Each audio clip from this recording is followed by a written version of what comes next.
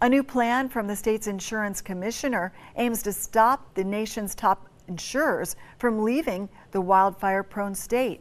The agreement was made this week with homeowner and commercial property insurance companies. The plan would push insurance companies to take on more customers in high fire risk areas in exchange for allowing companies to use risk management tools to set premiums. But these changes could mean higher rates for homeowners after being dropped from the conventional plans or being denied coverage earlier this year.